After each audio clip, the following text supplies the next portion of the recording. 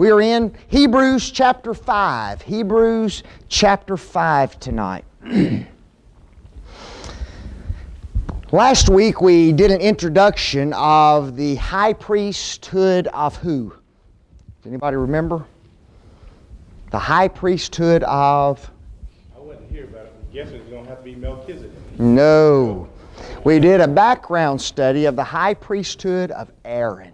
Okay, of Aaron. Okay, and uh, the reason we do that is because uh, the writer is about to get into a discussion of the contrast between the Old Testament priesthood and the New Testament priesthood in chapter 5. It's going to be a very brief discussion in this particular chapter, and then he's going to come back to it again in a couple more chapters, around Hebrews chapter 7. And it's very interesting what he has to say about that priesthood. So, we did some reading in the Old Testament about the high priesthood of Aaron. Uh, true or false? Aaron had uh, been called of God to this office. True. He had been called of God to this office. True or false? In order to become a high priest, you had to be anointed to the position. Yes, you were anointed to the position. Uh, the high priest wore a special garb when he ministered in his office. True. What were some of the items that were uh, in that particular uh, garb that he wore? A mitre, which was a what? A hat, a headpiece, right? And what did that mitre say on it? Anybody remember? Yeah. Holy One to the Lord. Remember? He was the one who was consecrated. He was the one who was set apart from all others. Uh, what was another very special piece of his garment? A breastplate, yes. And there were two items that we mentioned being on that breastplate. Does anybody remember what they are? Okay, yes, there were a set of stones on there, and each one of those stones represented one of the 12 tribes. And then there was also something else very special on there, which was the. Yes, the, the Urim and the Thummim. Okay, the Urim and the Thummim. Uh, and what were those? What was that for? Does anybody remember? Yes, they assisted him in the judgment of the people. Now, if there were one downfall of the Old Testament priesthood, what was it? The priest had sins like everybody else. Absolutely. The priest was a mere human who had sinned and transgressed the law of God just like all the other individuals in Israel. Okay? And that's a huge difference between that priesthood and our priesthood because we have a priest who is tempted in all points like as we are, yet what? Without sin. He had no sin whatsoever. And so. Um, um, there's a contrast that is there. We're entering into chapter 5, and uh, we're going to be talking about three points in this particular chapter. And uh, the writer always interests me in how he does his uh, discussions, okay? He's going to talk first about the human high priest. Okay? The human high priest. Approximately how many priests were in the office of high priest from the time of Aaron all the way until the destruction of the temple of Jerusalem? See Does anybody remember? Yeah, 70 to 80 high priests occupied that office. Okay, so that's quite a few high priests. And um, so we're going to talk about this human high priest in verses 1 through 4. He then is going to turn our attention to the heavenly high priest. And he's talking about our heavenly high priest. Okay, that earthly high priest belonged to what? To the Old Testament, to the, to the Mosaic law, to the Jews. Okay, an earthly, a human high priest. We have a what? We have a heavenly high priest. We have who as our high priest? Jesus Christ, the Son of God. When he gets through talking about Jesus for a little bit, he then all of a sudden just stops the conversation and he directs the attention directly upon his readers. And he's going to talk to them about the hearing of the Hebrews. Okay? He's going to talk to them about their own personal hearing of the things that he's discussing and the New Testament of Jesus Christ. And it's going to be, it's just interesting how he stops everything and he, all of a sudden, he just looks at them and begins to talk to them again. Okay? In a very direct manner. And it'll be another one of the exhortations of this particular book. So we have the human high priest, the heavenly high priest, and then the hearing of the Hebrews. So let's start with the human high priest. Larry? I agree, yeah, that, of course, the premillennials think that Jerusalem is going to be rebuilt, the temple's going to be rebuilt, and they were talking about how they were going to decide who the high priest would be. Wow. Because when in 70, AD 70, it was Done away. boy, they didn't know who the descendants were. And they finally decided that the Sanhedrin, which still exists, uh, would decide who the high priest was going to be. Wow. And see, the Sanhedrin was uh, uh, in existence in Jesus' day, but they weren't the ones who made the decision as to the high priest. Okay? Uh, how was it supposed to be calculated? Does anybody remember? It should have been lineage, genealogy, shouldn't it? Okay. Uh, the, there was the destruction of the temple of uh, Jerusalem in. Um, um, let's see, 586 BC. Okay, that was Solomon's temple. It was rebuilt 70 plus years later, and from that time onward, the high priesthood became a very political position. In the days of Jesus, who determined who the high priest was? Yes, the Roman Caesar, and who had the most money to supply him with the money that he wanted for the office. It just it quit being a true uh, scriptural position at that particular point. And the Sanhedrin were the aristocracy. I mean, not the Sanhedrin. The Sadducees were the aristocracy of the day. And so it was the Sadducees who had the rule of the high priesthood in the days of Jesus. Were they a scriptural lot? No, they were pitiful, weren't they? They didn't believe in spirits. They didn't believe in the resurrection. They didn't believe in hell. There's just a lot of things that they didn't believe in, and yet they had charge of what? Of the high priesthood. Okay, very high position. Okay, so uh, uh, and, and that even after Jesus came and died and ascended to the right hand of God, and Christianity had begun, folks, Judaism still continued, did it not? And it continued until when? Until the destruction of Jerusalem. Okay? At the destruction of Jerusalem, everything radically changed, folks. Okay? No more what? No more sacrifices. No, because there's no more temple, right? Okay? No more genealogies so they don't know their lineages anymore. I mean, there was a lot of things that radically changed in AD 70, and God brought, uh, as far as a true system of faith as it used to be in the Old Testament, He brought it all to an end in AD 70. Okay, and so a very uh, unique time, one that's prophesied in the pages of the New Testament. So uh, right now, the writer is writing, and guess what? The, high, the, the, priesthood is still in existence at this particular time. And so, uh, you know, we're somewhere before AD 70 at this particular time in the writing of the book of Hebrews. And he's talking about this Old Testament priesthood, this high priest. Notice first, um, Hebrews 5, verse 1, his station.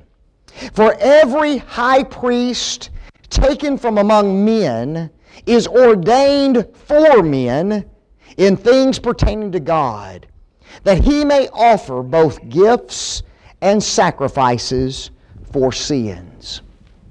Now, he tells us a lot in this particular text about this particular individual. Notice first, he talks about his rank. What does he call him? A high priest. Another way we could say it is the chief priest, right? He is the priest of the priests. Okay? And there was only supposed to be how many? One was all there was supposed to be. Now, when Jesus came along, there was sometimes more than one put into that particular position because remember, it was political, okay? But it was supposed to have been one human being, a high priest, the chief of priests. Notice, secondly, his relationship. He says this He is taken from among men, watch this, for who? For men. Okay? Let me ask you something. In the church today, do we have elevated positions in the body of Christ? Positions of power, positions of authority? Yeah. Okay? One of them being an elder, another being a deacon. Okay? And uh, I find it interesting that in uh, Acts chapter 20, verse 28, um, the Apostle Paul, speaking to the elders of Ephesus, said that they were selected by the Holy Spirit. Did he not? Take heed therefore unto yourselves and in all the flock over the which the Holy Ghost hath made you overseers. How is it that the Holy Spirit makes men overseers? How does that happen? Absolutely. The Holy Spirit has revealed the qualifications in 1 Timothy chapter 3, Titus chapter 1. And when you meet those qualifications given by the Holy Spirit, then guess what? You can be appointed as an elder of the church. You are taken from among men, and watch this, for men.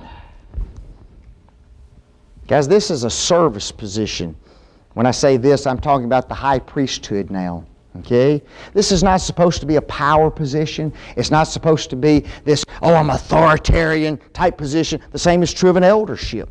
Okay? Yes, they have authority, and yes, they have power, and yes, they have the responsibility of doing certain things. But you're taken from among men for men. That's the relationship that you have. Um, we call our elected officials civil what? Servants. That's what they're supposed to be. Guys, they're elected not for power, but to what? To serve among men. Okay, and it's that way in the church, and it was that way at this particular time. Notice that he says that they were ordained for men. That little word ordained means to place down permanently. That is to designate, constitute, convey, appoint, make, ordain, set. There says to set, to place, to put, to appoint one, to administer to an office. Who is it that put those men in power? God did. God did. Guys, anybody that God puts in power should be what? Should be respected, shouldn't he? You know, the, the high priest wasn't always a perfect person. I'll guarantee you that. The high priest sometimes was corrupt and vile in the way that they handled and conducted themselves. But when God puts a man in power, guess what? We respect that man. Okay? Because he's ordained of who? He's ordained of God.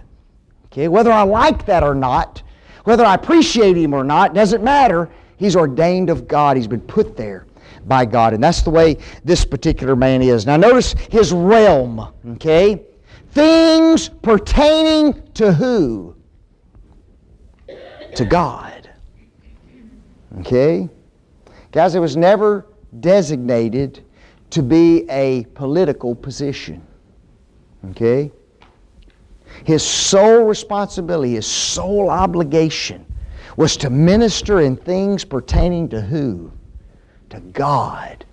The overseeing of the temple, the overseeing of the sacrifices, the making certain that the people were judged correctly because of his office. Okay? It, it was never supposed to be a political position, but uh, that, that's the way it became. Notice his responsibility that he may offer both gifts and sacrifices. For who? For sin. Notice that little word offer. To bear towards, to lead to, to tender to God, to treat. Thayer says that the word offer means to bring to, lead to a person who can heal him, who is ready to show him some kindness. Bring a present or thing. Folks, the high priest always stood between who and who?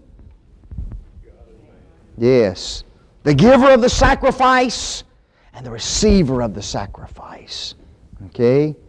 Always stood in between those two individuals. He was the one who would offer up gifts for the people. Okay? Notice gifts and sacrifices for sin and offense. To be without share in, to miss the mark, to err, to be mistaken, to miss or wander from the path of uprightness, to wander from the law of God, to violate God's law. Uh, was such a man really needed? Why? Uh, because there was sin among the people, was there not? Okay? And so they needed a man in that position. So God designated this one man, the high priest, to be this go between between sinners and who? And God. Notice Hebrews 5 2, his sympathy. Who can have compassion on the ignorant and on them that are not of the way? For that he himself also is compassed with infirmity. Wow. Notice his passion. Who can have compassion? To be moderate in passion, that is gentle, to treat indulgently, to be affected moderately or in due measure, of one who is not unduly disturbed by the errors, faults, sins of others, but bears them how? Gently. Man. Is it easy to have compassion on the sinner? It's not easy. Now that's what the high priest was supposed to do. Okay, knows what he says. He says, Who can have compassion on? And he mentions two groups the ignorant and who? Those that are erring, those who are wandering out of the way. Now think about that. To bear patiently with, to deal gently with. That's not easy to do, is it? Somebody lies, somebody cheats, somebody commits adultery, somebody murders another. And where are we, guys, when, when those things happen? What's, what's, our, what's our first response to those kind of people? Oh man, we're angry, we're upset, we want to deal with them, they need to be punished, right? And yet, here's this high priest who's been put there to do what? To be compassionate. Who's he modeling? Ah, he's modeling Jesus, isn't he? Folks, aren't you glad that God doesn't treat us with great hostility the moment we sin? Aren't you glad that when you and I go to Him, it's not with a heart of condemnation that He approaches us, it's a heart of compassion that He approaches us with. He wants to deal gently with us, He wants to treat us with as much goodwill as He possibly can. Folks, God doesn't want anybody to be destroyed, God doesn't want anybody to be lost. And so when someone came to the high priest, guess what? He was supposed to be treated with what? With gentleness. Now think about Jesus during his crucifixion. Who was he brought to immediately? The high priest. And folks, if there were anybody who was supposed to have been in Jesus' corner, guess who it should have been? The high priest. In fact, he should have very quickly come to the conclusion that Jesus is what? He's innocent. He's done nothing amiss. He is a just man, and he should have released that man immediately, but it had become political, hadn't it? And you see, he didn't treat Jesus with compassion and gentleness the way he ought to. See, Jesus knows what it's like to be mistreated by who? The high priest. He knows what that's like. Folks, he experienced it during his crucifixion. So, guess what he is not going to do with us? He will never treat us unfairly and with harshness and with rudeness and with inequity as we approach Him. And that's the way it should have been with the high priest in Jesus' day. Notice the persons. Okay, we looked at his passion that he was supposed to have to bear with them gently. The persons, the ignorant, one who does not know through lack of information or intelligence. The ignorant, those that know not, those that understand not. To be ignorant, to not know, to not understand, to err or sin through mistake, to be wrong. Do some people err out of ignorance? Oh, yeah. Let me ask you something. Does ignorance still pervade the body of Christ today? Mm-hmm. Ignorance pervades the body of Christ, folks. Okay? We're not students of the Word of God the way we used to be. Okay? Those old timers, they could quote the Bible. You know that? Those old timers, they knew exactly where those passages were. They knew the fundamentals, didn't they? And we've lost a lot of that in the body of Christ today. So, guess what we have among us? A lot of ignorance, don't we? And guys, ignorance can upset the knowledgeable real quick, can it? Can almost just make you plumb mad. Well, you big dummy. Right? But you see, that's not the way our high priest treats us. The ignorant come to him, and guess what he does? He deals gently with them. He treats them with compassion. He looks on them like a shepherd would look at a sheep. And folks, guess what sheep are? Little dummies. Okay? Now that's sad that we're described that way, isn't it? but we are a lot of times, aren't we? Okay? And sometimes it may not be ignorance of the Word of God per se, but it's ignorance of the consequences of our action. Couldn't it be? We think, we think we can just keep doing this particular sin or that particular sin or involve ourselves in this transgression or that transgression or this behavior or that behavior and everything's fine. And all of a sudden, guess what? It's not fine, is it? And we go to Jesus and guess what? We're met with what? Compassion. And that's the way it was supposed to be with the high priest. Notice also, on them that are out of the way. How many ways are there? There's just one, isn't there? And Jesus made it clear today exactly what that way is. I am the way, the truth, and the life. No man cometh unto the Father but by me. I'm the only way. Okay?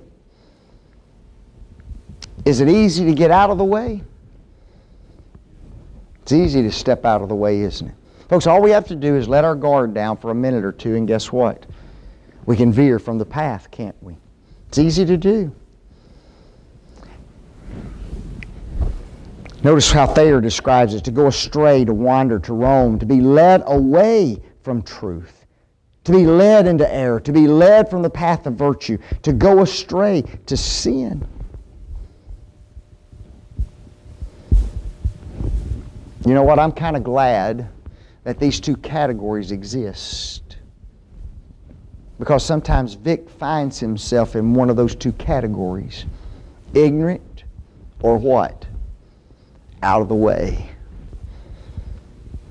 And notice when, they, when, when the ignorant out of the way come to the high priest in the Old Testament, okay, they're coming with their sacrifice, and they, they tell the high priest what they've done and why they're there. What's the high priest supposed to do? Is he supposed to cut them off? Is he supposed to condemn them? Is he supposed to speak roughly to them? Is he supposed to make them feel their ignorance and their stupidity because of what they've done? No. He treats them how? With gentleness. Folks, here's, here's who in operation. Here's Christ in operation with us. And that's what we always need to remember. As we watch this Old Testament high priest, we always need to realize that what he was commanded to do, what he was responsible to do, is what Jesus is doing for us today, but he's doing it with what? With perfection, isn't he? With absolute perfection. Now, let me ask you something. We said a while ago when somebody errs out of ignorance or somebody commits sin and they go out of the way, that oftentimes we can be pretty rough on them, can't we? Why should we not? Or maybe I should let me rephrase the question. How is it that the high priest of the Old Testament could bear so gently with those who had sinned and who had come to him. Ah, notice the parallel. For that he himself also is compassed about with infirmity. Who am I to treat somebody in sin roughly? Who am I not to show compassion on somebody who's in violation of the will of God. Because I too am what? A sinner, aren't I? Do you remember the story about that Jesus told of the man who was forgiven of much sin? Great debt forgiven. And what did he immediately go do? He runs out there, finds his fellow servant that just owed him a few dollars, and casts him into prison till he pays, doesn't he? Wow, there you go. There's us. We're pretty hard on other people, and we shouldn't be, folks. Because we too fall in that same camp, don't we? We're sinners. We sin against God. He's compassed to lie all around, that is enclosed, encircled, hampered, to be bound with. There says to lie around, to be compassed, to have around. Guys, guess what's all around us? We too are compassed with sin.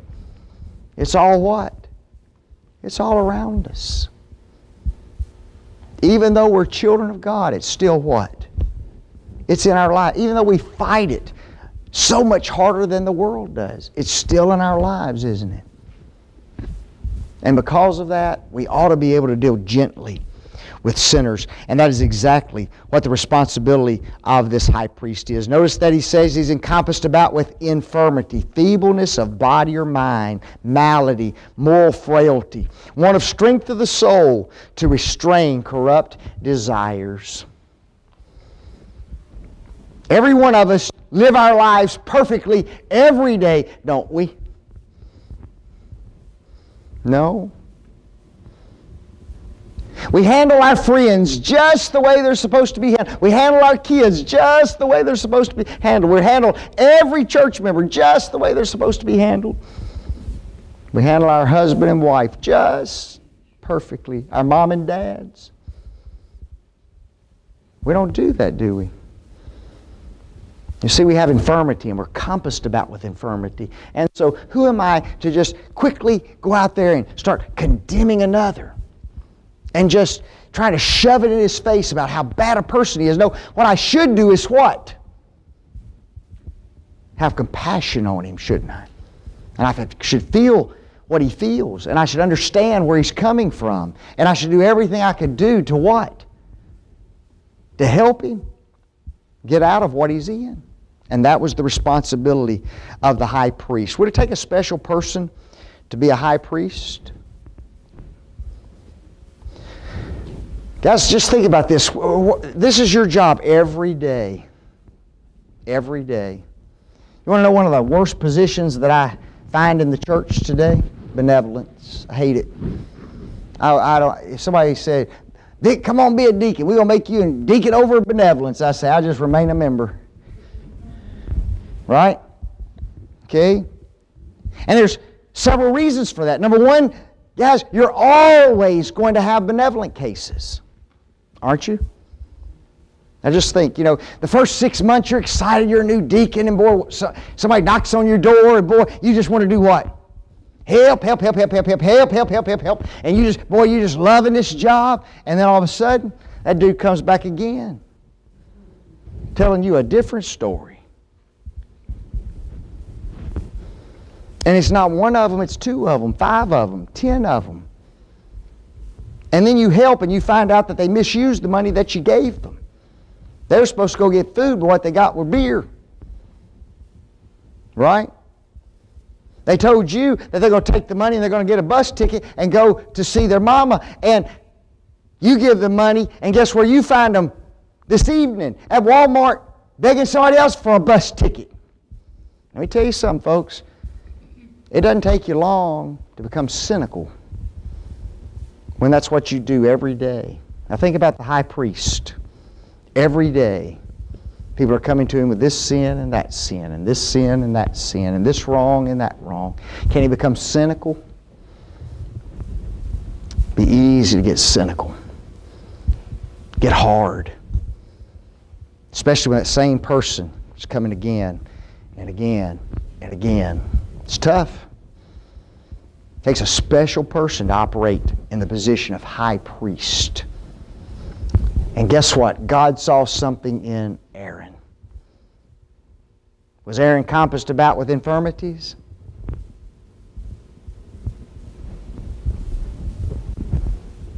Um, well, yeah, kind of. I think he was. Guys, you can just point out two or three times in Aaron's life where he messed up pretty badly. You know it? He kind of got in there with his sister, didn't he? Challenging Moses about his position and his authority. Where was Aaron? When that golden calf was being built. Was he at the foot of Sinai? Did he know what was going on? Did he not know what? We don't know for certain, do we? He wasn't a perfect man by any means, that's for certain. And so, when God put him in that position, if he really looked at his life and the way he was, then he ought to be able to what? Sympathize with those other sinners. And that's why he's put there. That's part of his job. Now notice Hebrews 5.3. Here's something that's totally different between our high priest and the Old Testament high priest. For by reason hereof he ought, as for the people, so also for himself to offer for sin. Now what does he mean by that? And by reason hereof, because he has what? Sin and infirmities. He ought Guys, there's two, two or three words in Scripture that are very, very important. Ought is one of them. Must is one of them. The is one of them. And is one of them. We don't put much importance on those little words. But notice the, the writer says he ought to do this. What does that mean? Ought. O U G H T. Should. yes, should. He should. What does it mean? I mean, must. Yeah, guys. There is a bound obligation that is placed upon him. Okay? There's no getting around it. There's no ifs, ands, or buts. He ought, he must do this. And what does he have to do? As for the people, so offer so also for himself to offer for sins. Wow. I just think about that. Before he does anything this day, right, in his high priesthood position, he has to go into the temple, and what does he have to do? He offers a sacrifice for who? For me. He watches that little lamb bleed out because of what he has done. Is that pretty good? You have to do that every time. Before you start this position of ministering in the high priest office, you've got to first do what? Offer sacrifice for self. When people come to us and they have these problems and these difficulties, what's the first thing we need to do?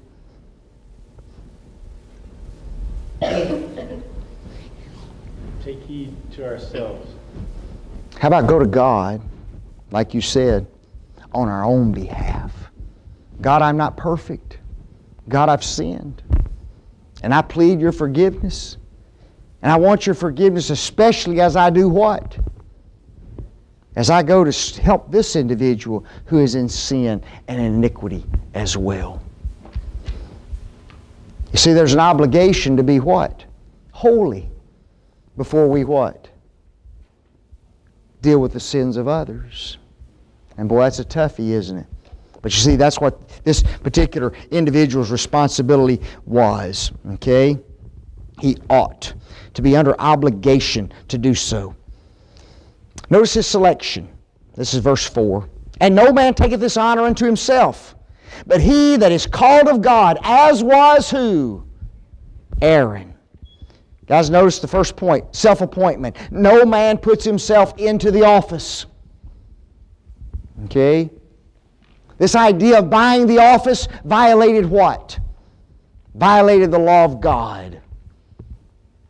I wonder how God looked down from heaven upon the high priesthood during the days of Jesus. Don't you know it just upset his soul to see what was going on? Because no man takes that office to himself, taketh, to get hold of, to take with the hand, to lay hold of in order to use it, to claim for oneself, to take possession of.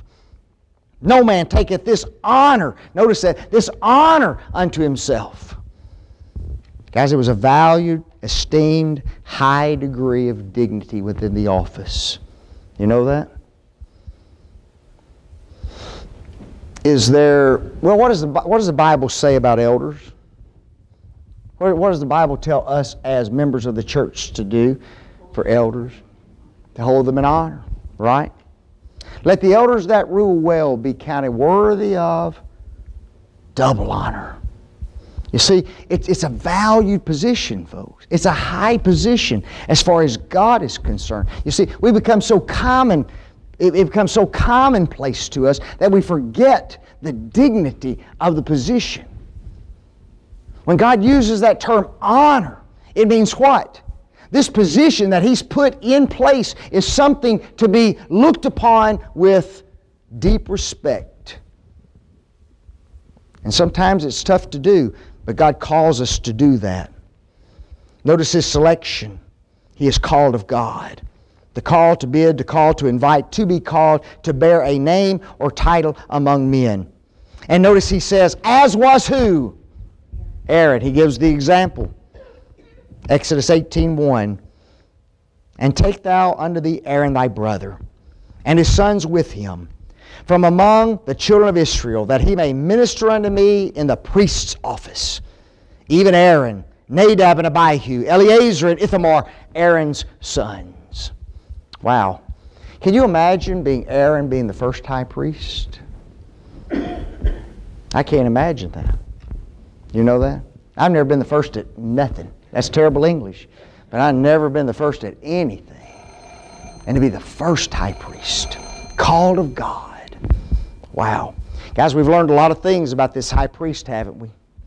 In, that, in those four short verses. And now, what he's going to do, he's going to get into those next three or four verses, and he's going to contrast Jesus with that high priest. And he's going to talk about our heavenly high priest. And he's going to use a term that he hasn't used up to this particular point as he describes Jesus. Okay? It's going to get gooder, I promise. Thank you. Man, we need about two hours.